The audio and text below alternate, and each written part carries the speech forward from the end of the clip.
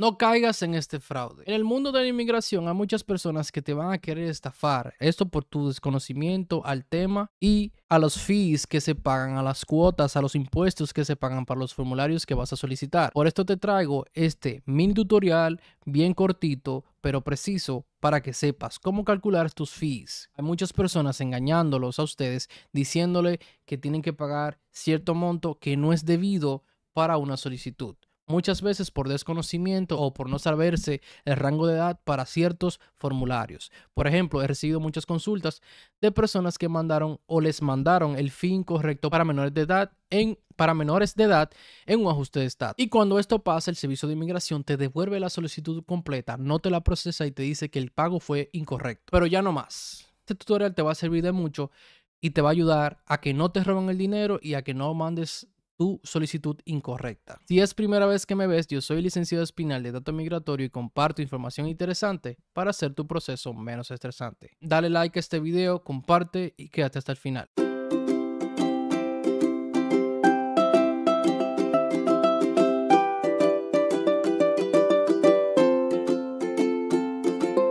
Bien, la herramienta que vamos a utilizar es USCIS Fee Calculator, que le voy a dejar el link en la descripción de este video y vamos a calcular precisamente un ajuste de estatus. Primero para una persona menor de 14 de edad y luego para una persona de eh, mayor edad para que vean la diferencia. Vamos a la parte donde dice el número del formulario, específicamente y 485, le vamos a someter. Eh, te, va a pedir, te va a pedir la edad, vamos a poner 12 años, te das a next y vas a decir, eh, estás llenando con un padre, vas a decir que sí, y le va a decir, eh, vas a poner que eh, cuál es tu categoría de llenado, si es un asilo, si es eh, a través de empleo, si es un inmigrante especial, pero en este caso vamos a irnos a lo sencillo y vamos a seleccionar Family Based.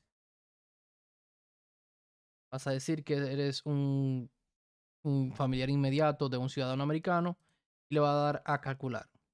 Básicamente, si te das cuenta, los, los niños de 12 años no pagan biométricos y lo que pagan por el ajuste de estatus son 750 dólares. Pero vamos con los adultos. Vamos a ver cuál es la diferencia de dinero que pagan los adultos. Ahí lo tienen, 750 dólares para un niño de 12 años para un ajuste de estatus. Vamos a hacer lo mismo. Vamos a actualizar acá. Y vamos a ver para un adulto. Recuerden que le voy a dejar el link en la descripción y usted puede calcular esto con cualquier tipo de formulario. Ustedes lo tienen todos acá pueden hacer con la ciudadanía, el reemplazo de residencia y todo lo demás, así sepan si tienen que pagar o no.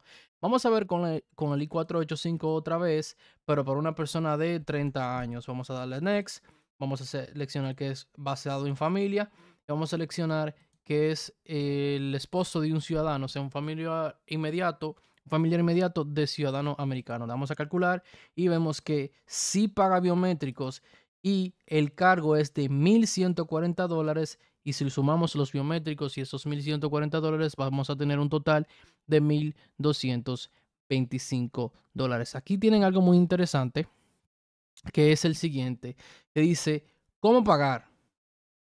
Y te dice, yo les recomiendo a ustedes que siempre lo hagan con un money order. Eso es lo más común, lo más fácil de hacer. Hay personas que llenan un formulario, eso lo hablaremos en otro video básicamente hablando de las solicitudes eh, y cómo se pagan.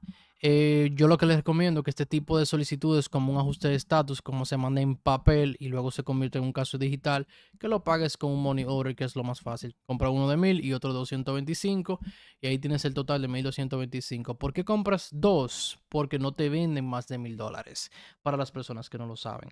Eh, hay peticiones como la I-130 que se pueden hacer en línea, la I-90 y todo ese, tipo de solicitudes que se pueden hacer en línea, pues lo puede pagar con una tarjeta de débito, de crédito, una cuenta en cheque business o una cuenta de cheque personal. Pero básicamente esta es la información que le quería dejar hoy. Eh, para que no se me dejen engañar por nadie y que usted sepa lo que tiene que pagar. Yo soy licenciado Espinal, sígame en todas mis redes sociales y recuerde dejarme su comentario.